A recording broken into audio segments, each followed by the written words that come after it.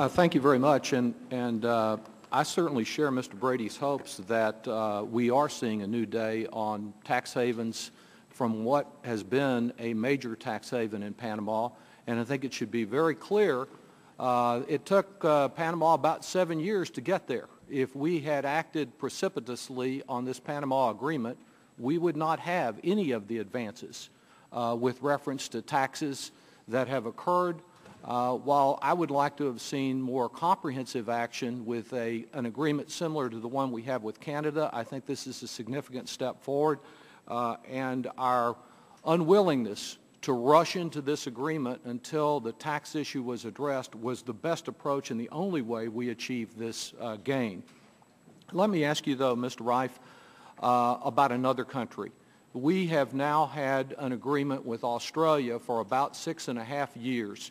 Have we had any problems with that, or has that agreement generally benefited uh, America So you're speaking about the free trade agreement with Australia? with Australia? It's been a very positive uh, experience for No the problems. United States.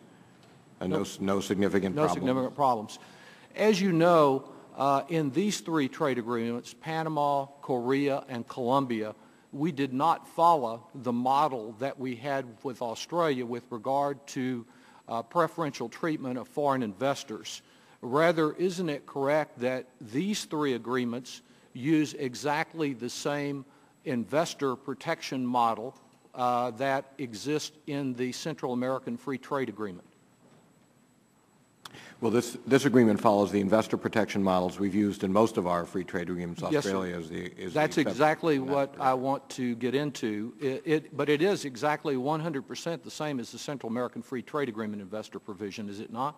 The investor state provisions are similar to the investor state provisions we've used throughout our FTA program. And uh, in that regard, uh, we have chosen, for example, in Korea, uh, which has a very advanced court system, uh, anytime, uh, as I understand it from the testimony of, pr- of prior USTR officials over here, anytime in the negotiations that the United States can use the preferential provisions with these uh, arbitration panels for investment rather than the court system, uh, it can achieve that.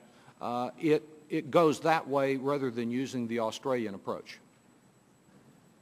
Well, I'm not, I'm not sure I would describe them as preferential. What the I, provision... I understand you, you think they're great, and that's why you followed that approach. But if you have a choice between having investors rely on our court systems and giving them uh, the alternative of using these uh, arbitration panels, uh, the USTR position is go with the arbitration panels.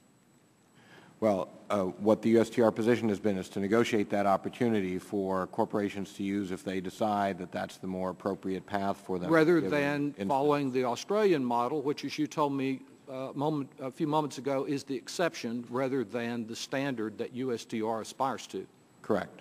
Uh, And some of us do feel that that gives uh, advantages uh, to foreign investors uh, to challenge environmental, health, and safety laws uh, in closed panels rather than through the judicial system.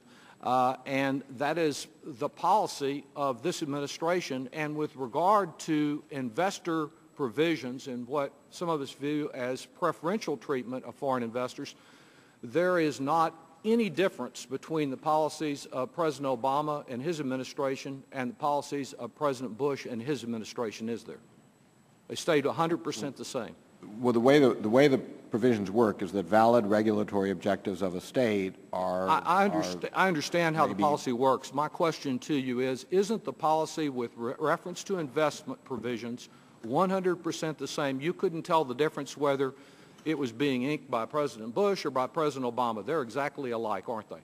Well, the, the investment provisions of the three FTAs we have before us today, sir, were uh, negotiated by the prior administration. There was a change as a result of the agreement that's been referenced earlier with respect to May 2007, but the Obama administration con- continues to support that there needs to be effective and, and adequate protections for our investors in foreign markets so that they are able to vindicate their rights if they've made an investment in the country. Exactly the same as under the Bush administration, right? That's all I'm asking. You haven't changed Bush administration policy in any way on investment as reflected in these three agreements and your support of them.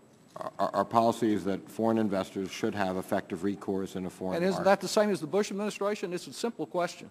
Well, it's, it's the, it's the position of our administration then- that they need to have that kind of a, uh, uh, I'll ask you again with reference to the uh, Colombia agreement when we get there.